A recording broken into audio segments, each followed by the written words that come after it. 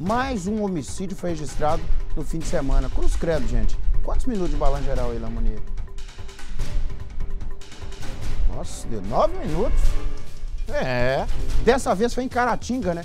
Maximiliano Inácio, de 27 anos, ele foi morto a tiros enquanto consumia bebida alcoólica. Durante as investigações, foram apreendidas munições, drogas e uma moto foi recuperada. O Miguel Braz está chegando com os detalhes dessa ocorrência lá de Caratinga. Miguel, boa tarde para você, amigo. Ei, Nico, ótima tarde para você e para todos que nos acompanham pelo MG Record, ou melhor, pelo Balanço Geral.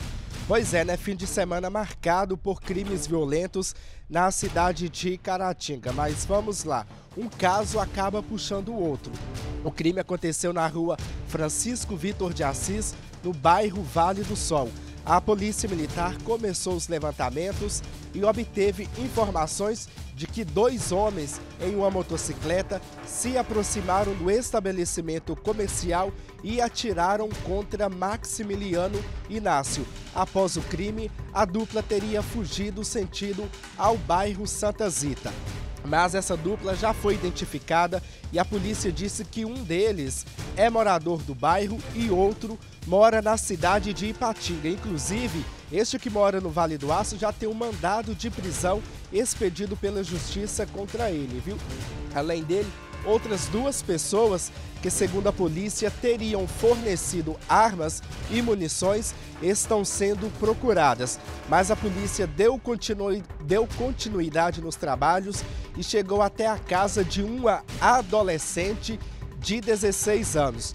Lá, segundo os militares, foram encontradas cápsulas compatíveis às mesmas utilizadas nesse crime contra Maximiliano. Além disso, dentro da residência da jovem foram encontradas jovens, é, foram encontradas drogas, perdão. A polícia militar ainda informou que a adolescente repassou algumas informações que podem ajudar a esclarecer ainda mais este homicídio. Mas como eu disse que um caso puxa o outro, nessa mesma casa, Nico, a polícia militar apreendeu uma motocicleta. Essa motocicleta estava pintada de preto, mas a cor original dela é vermelha. A polícia disse que este veículo teria sido utilizado em uma tentativa de homicídio registrada no início do mês passado em Caratinga. Inclusive, o caso foi noticiado aqui na TV Leste quando duas pessoas chegaram em uma motocicleta, entraram em um lava-jato e atiraram contra algumas pessoas que estavam no local. Na ocasião, um homem acabou sendo atingido no braço. Portanto, a polícia continua trabalhando para encontrar né, os quatro suspeitos de envolvimento neste homicídio registrado no fim de semana na cidade de Caratinga, Nico. Encontrando eles, outros crimes poderão ser solucionados também, né? Considerando a, ligação entre é, os crimes, como esse caso do Lava Jato, que a gente se lembra muito bem.